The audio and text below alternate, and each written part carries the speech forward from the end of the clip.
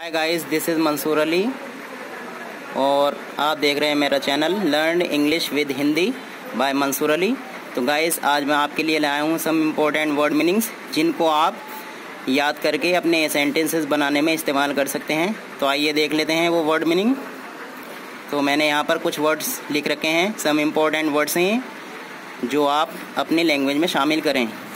तो पहला वर्ड है हमारा मे तो इसकी इंग्लिश क्या होगी? इसको इंग्लिश में हम बोलते हैं आई।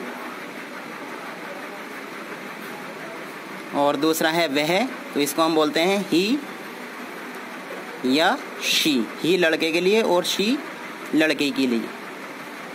मेल और फीमेल, यानी ही लड़के के लिए होगा और शी लड़की के लिए। तुम तो इसकी इंग्लिश हो जाएगी यू। हम, इसके लिए हम इंग्लिश में वर्ड यूज़ करते हैं वी। वे इसको इंग्लिश में बो, बोलते हैं दे। यह है तो इसको इंग्लिश में हम बोलते हैं इट या फिर दिस।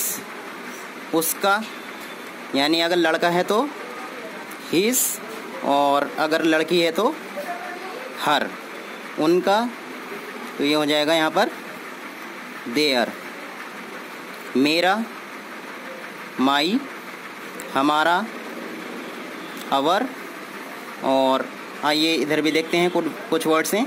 आपका, यानी योर और पॉजिटिव केस में होगा तो योर्स मुझे, यानी मी उसे, यानी हिम और अगर लड़की के लिए यूज़ करेंगे तो हर उन्हें देम क्या कोई इंग्लिश में बोलते हैं? वाट कौन या किसने तो इसके लिए इंग्लिश में वर्ड होता है हु कौन सा, इसके लिए इंग्लिश में वर्ड होता है विच और कितने तो ये इंग्लिश में इसके लिए वर्ड यूज़ होगा हाउ मैनी कितना हाउ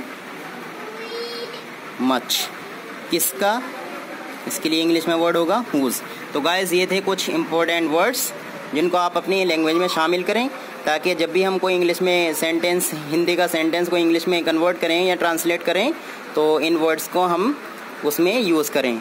तो गाइज़ अगर आपने मेरा चैनल अभी सब्सक्राइब नहीं किया है तो मेरे चैनल को सब्सक्राइब करें और इस वीडियो को शेयर करें। थैंक